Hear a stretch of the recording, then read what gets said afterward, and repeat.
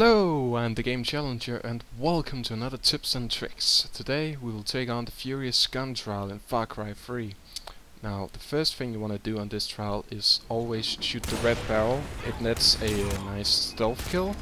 And if you have the chance, do a takedown on that guy. Uh, you will have the perfect opportunity to get a few uh, kills with the gun. Uh, here I recommend actually uh, shooting one more enemy before running around because the LMG makes you incredibly slow.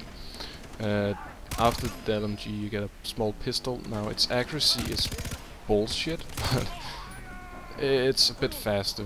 Uh, so zoom in with the iron sight, do exactly what I'm not doing, and you would actually hit that. Uh, or you can just miss it like I did. That's always a, uh, a plan.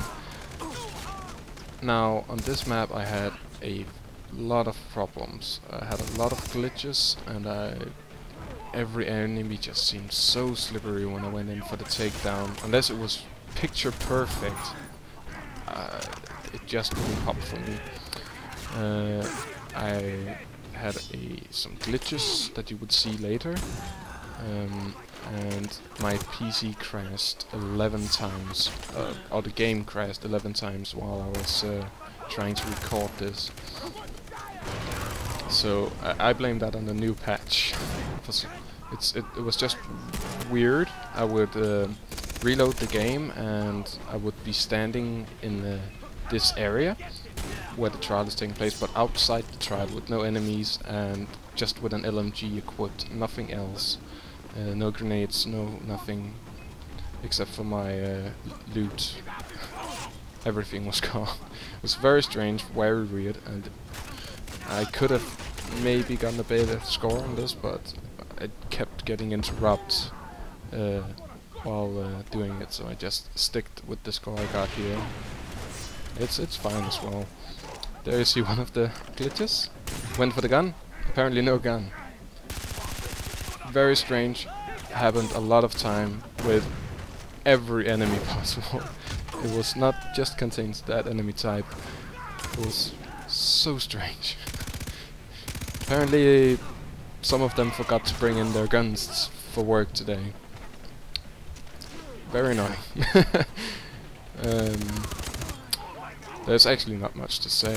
Uh, once you get all the barrels, uh, just run around, shoot, uh, try to get the takedowns on the other side of these pillars uh, near the entrance in the start.